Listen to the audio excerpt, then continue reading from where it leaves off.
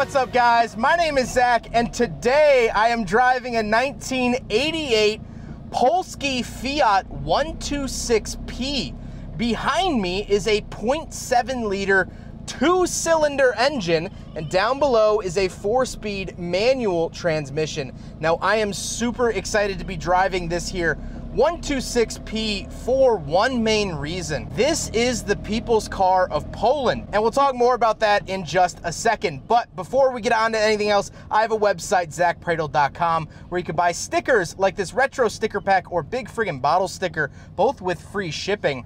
You could also submit your own vehicle to be reviewed by me through a quick and easy submission form. And you could read my behind the scenes blog to see what I'm filming before it comes out on the channel. But let's talk about what Polski means. You've heard of Fiat, but you might not have heard of Polski. So, throughout the entire 20th century, almost every country besides America was struggling to make a people's car, something that was affordable, could be made in high volume, and essentially motorize a country. Us Yankees, we had the Ford Model T. And so every country after that wanted something similar. That's where we got the Volkswagen Beetle. That's where we got the Lada and for Poland, they wanted something similar. So they went to Fiat and said, hey, we would like to build your little 126. We'd like to license out the manufacture of a 126. So they said, great, let's do it. So this is a Polish built Fiat 126. It was built under the license from Fiat, and that's where the P at the end of 126 comes from, as well as the Polski name. This was the people's car of Poland, and they made over 4 million of them. Over in Poland, these are less than a dime a dozen. But here in America, you just don't see them because we never got them. Let's get back to that little two cylinder engine around the back. It makes 26 horsepower. And the interesting thing is that this engine was actually new for 1987. Now, this is a 1988, but in 1987, they actually switched to a Polish built engine. This engine was built and manufactured in Poland, where previously they were still using the Italian made engines and shipping them to Poland. They also switched to water cooled engines. So this engine is water cooled, which was not what they had done in years prior. Now, actually driving it, don't expect to go anywhere too quick. But hey, that's all right. It's a Fiat.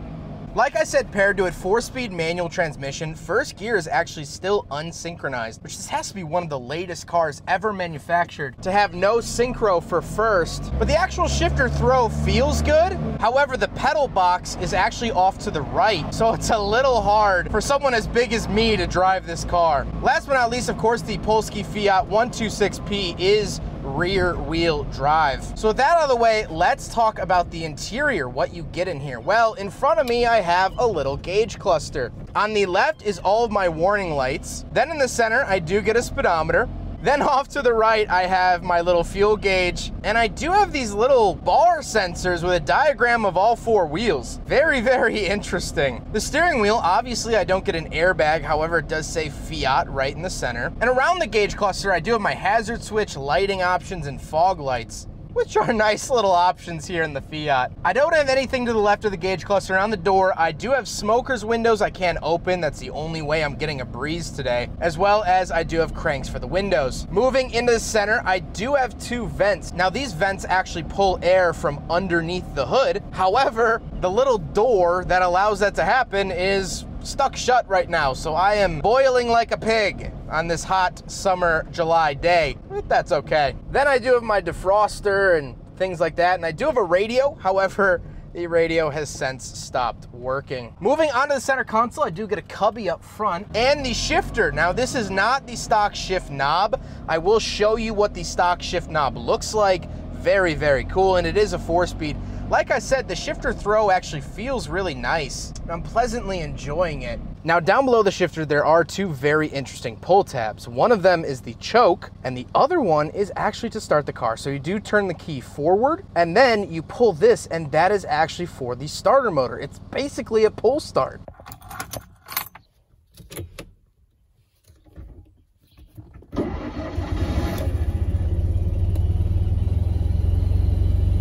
Then I do get my handbrake finishing out the center console, meaning there are no cup holders in the Polski Fiat 126P.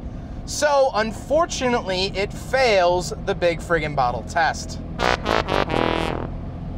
Back behind the center console, there is this little switch, and this is actually for the heater. So of course it pulls heat off of the engine, and these are the different settings that you get, and the heat just kind of meanders its way into the cabin, comes through from around the shifter, and other points like that. The seats are decently comfortable. They stop about mid-back for me, which is hilarious. They're very, very small like the rest of this car. And actually, this car ended up getting a nickname in Poland of Maluch. I don't know if I'm pronouncing that correctly, and I apologize if I'm not, which literally translates to the small one. This was like everyone's small little friend. So the seats definitely reflect that. However, speaking of seats, we do have back seats. So let's go do a back seat review. All right, so something helpful that the 126P does is that the entire front seat comes forward, not just the backrest, which is really, really nice. Just kind of step in here. And now I'm back here. My hair is touching this like woven sweater roof liner that you're seeing. Kind of interesting there. Um, me being a big American, I would not fit back here very pleasantly. However, this was the backseat solution for many people of the era. Tons and tons of people shared this experience of the backseat. Put your kids back here, your dog back here, whatever it is. It was hard to buy a car in the 1970s and 80s in Poland. In the early 70s, there was only about 500,000 cars in Poland as a country. And so getting one, especially with the communist rule, was very, very hard. You didn't really have your choice or luxury of vehicles. So this was the backseat that people got, not because it was the most luxurious backseat or the backseat of choice, it was just the backseat of the car that you got. So kind of interesting there. Now we don't have a trunk behind us, but we actually do have some cargo storage up front. Remember this is a rear engine car, so let's go talk about that. All right, so because it is rear engine, we do get this front compartment. Normally this spare tire would be down in front. However, the owner had to get a new battery and the battery was too large to accommodate this being down there. But however, this was the little storage area you got up front. You got a little bag for your windshield wiper fluid and you could hold some tools up here. But other than that, nothing too crazy. However, very, very cool feature.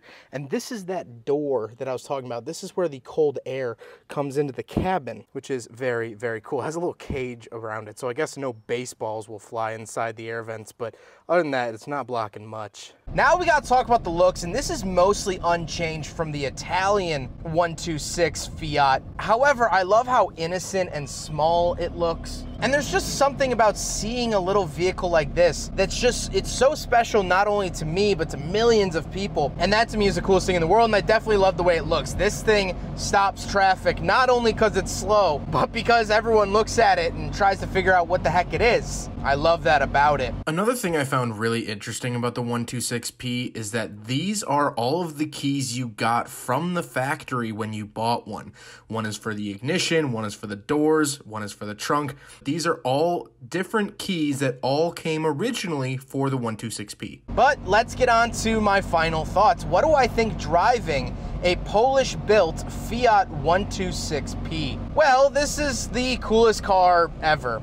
I love driving foreign people's cars. Like I said, this car was designed, built, and manufactured to give the people of Poland the opportunity to own their own car for not that expensive and to utilize Poland's roads. This car was built out of necessity and the people came to know and love it. It has back seats, not for any insurance reasons, but because this was probably your only car and people have family members. You gotta take them around. This car has a two cylinder engine because that was the easiest thing to manufacture. That was the best thing to manufacture. Most of the glass on this car is flat, so it was easy to manufacture. This is, quite frankly, the solution to a problem, but the people of Poland have embraced it as one of their own. I was lucky enough to visit Poland six years ago, spend a couple days in Krakow, and I loved it.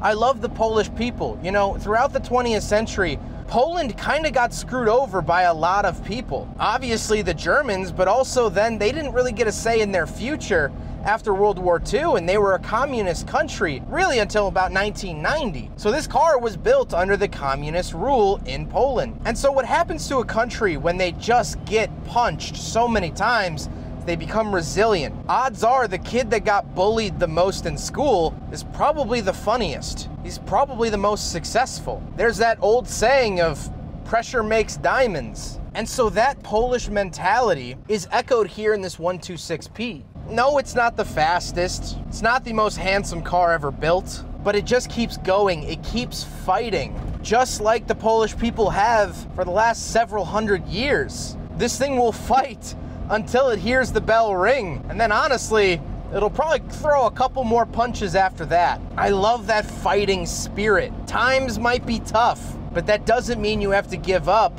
on what means the most to you. And what means the most to this car is getting people from A to B. Daniel, the owner of this one, drove it almost an hour to this review. And you know what? He's gonna drive it an hour home. And this car might not be happy about that. The two cylinder might be screaming on the highway, but it's gonna do it. And it's gonna see the light at the end of the tunnel. Because there always is some light at the end of the tunnel. It might be dim, but if I know anything, the people of Poland will be fighting towards that light. I love it. I love this scrappy little car. Huge thank you to Daniel for letting me take this thing out. This was such, not only a cool driving experience, but just a lesson in geopolitics. I love it. It's so fascinating to me, and this is one of the coolest cars I've ever driven. He actually imported this directly from Poland, from an older gentleman who would just drive it to church on Sundays. And now it's tearing up the streets in Chicago, one of the largest populations of Polish people. Interestingly enough, outside of Poland, Chicago has the most Polish people. So that's another little fact you can learn today. But huge thank you to Daniel. I can't thank him enough. He's absolutely awesome. I can't say enough good things about him and this car. But I hope you guys enjoyed the video. Don't forget to rate the video, comment on the video, and subscribe if you really liked it. Take care, guys.